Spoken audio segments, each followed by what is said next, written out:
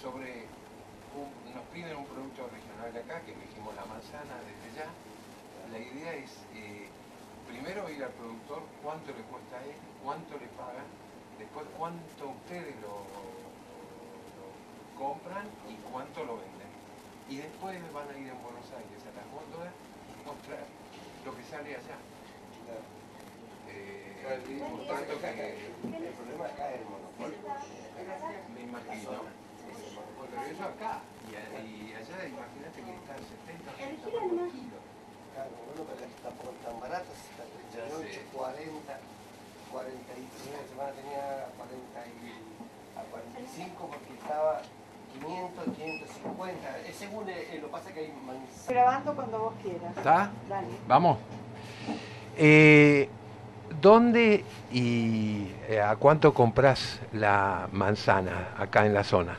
Nosotros la compramos, la mayoría de los que venden en despensa, en el mercado concentrador. Por lo menos un poco más barato que comprar acá en el Bajo.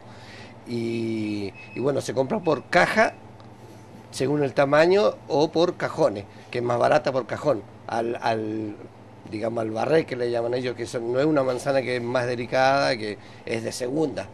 Pero generalmente se compra la manzana más roja como para en la que más es más atractiva.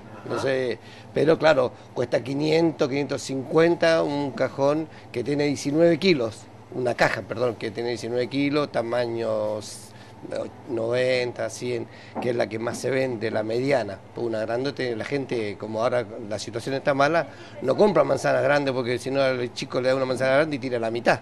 Entonces compran un tamaño medio chico. Es la que y cuesta un poco conseguir a veces, incluso acá que estamos tan cerca de la manzana.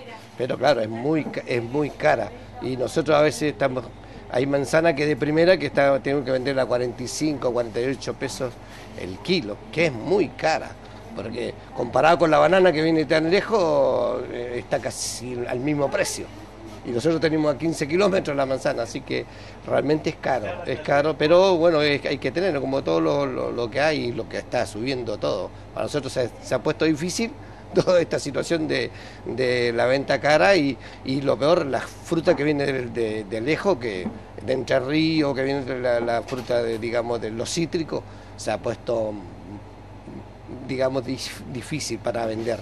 Eh, Cuando estás hablando de eh, 550 pesos, es decir, casi 20 kilos, estamos hablando de 25, 26 pesos el kilo y ustedes lo tienen que vender a cuánto? Y bueno, eh, algunos, no sé, como yo, por ejemplo, podemos vender un poco más barato, pero los que alquilan y tienen empleados tienen que subir el, el- costo de cada, de cada elemento que venden. Nosotros sí podemos tener un margen más porque eh, somos dueños local y, no tenemos empleados y trabajamos menos horas de paso. Los que, los que sí alquilan siempre tienen que subir un, un 15% más por el empleado, por las horas, por, por lo que sea, todo es, eh, incrementa todo el, costo de todos los elementos que, que venden una despensa. Ustedes tienen manzana todo el año y comentanos eh, si eh, alguna vez estuvo tan caro o realmente eh, fue subiendo a medida del tiempo. La manzana todo el año, todo el año, pero se ha ido incrementando cada vez más ahora. La mayoría por el transporte, pero nosotros lo tenemos tan cerca, no sé, la verdad, yo eh, he consultado a algunos que traen, dice que el, lo que subió todo, este, eh, la manzana saca en enero, febrero, la pera, todo el frío que ellos tienen que pagar, o sea, digamos, la electricidad para, para mantener en frío la manzana y se mantenga todo el año como siempre compramos. Entonces, eso fue un- uno de los incrementos más, más grandes de la región, es el frío con respecto a la manzana para, digamos, para poder eh, eh, mantenerla. Y eso incrementó todo el, el- precio, no el transporte.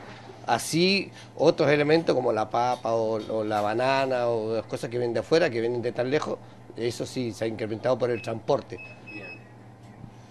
El otro fruto, la banana, el tomate, todo este, todo. Acá nosotros en realidad eh, es muy poco lo que aportamos para el, cala- el 20% menos, es decir, hacer calabaza, cebolla.